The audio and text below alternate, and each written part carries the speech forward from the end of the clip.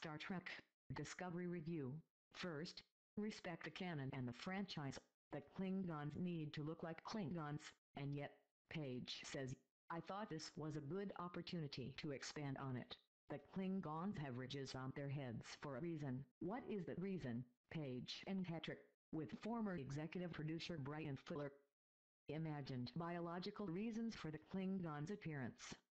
With bony, protruding foreheads, especially among males, explained as the result of head-butting, and bald heads.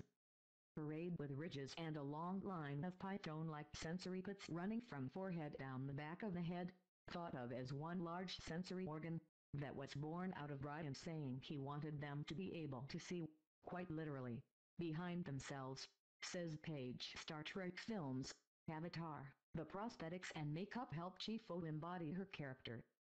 When I first put on the L'Rell prosthetic, this head tilt started manifesting.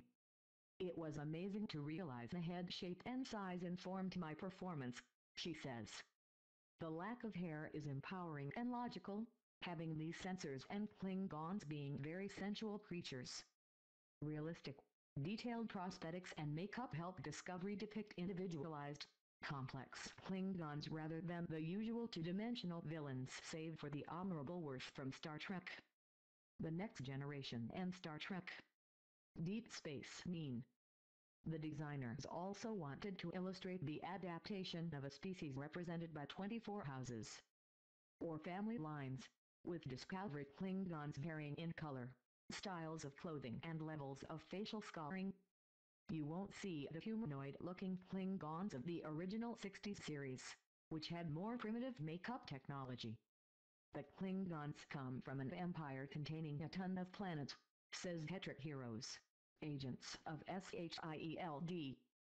If you think about the cultural diversity that we are able to exhibit in just a few thousand years on our planet, what would it be like if we existed on a group of planets all that imagination wouldn't matter if they couldn't translate their concepts into a process that converts 25 actors into unique Klingon characters over a demanding 15-episode schedule. Hetrick and Page employed advanced technology, starting with body scans and casts of actors, followed by computerized sculpting via a technique known as ZBrush and 3D printing of prosthetics.